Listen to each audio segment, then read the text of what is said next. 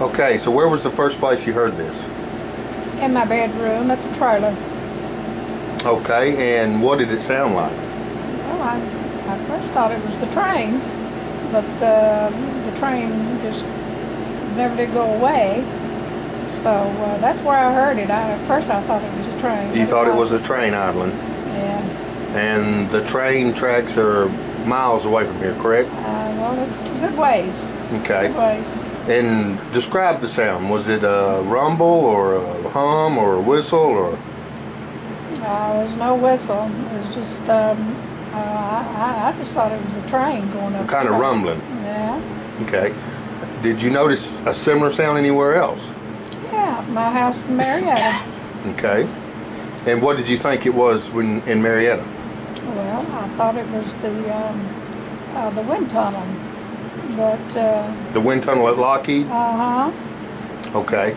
Now, at your home in Marietta, where is the power meter uh, as opposed to where you're at in the house? Uh, well, it's right at the front. It's in the front of my house. So, so the the power meter is near the room that you're in, Uh, there, yes. and the power meter at the trailer Is near the right, It's right outside of my bedroom. right outside. So where is it louder, at the home in Marietta or at the trailer? Well, I'd say it here at the trailer. Okay. And it does it mostly noticeable at night, correct? At night, somewhere around, it starts somewhere around 1 o'clock in the morning. Okay, and it goes basically the whole time you're awake, correct? Uh, the whole time I'm awake. Okay. And uh, what did you hear?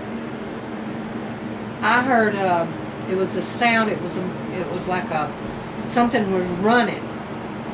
Was it a humming It was a humming sound, and it was uh, in a bedroom, and and you, it, and it kind of I could feel it in my ears. It was kind of like a like a pressure? yeah in my ears, and it was just humming, humming sound. And that would be at my house. Yes, at your house during the day.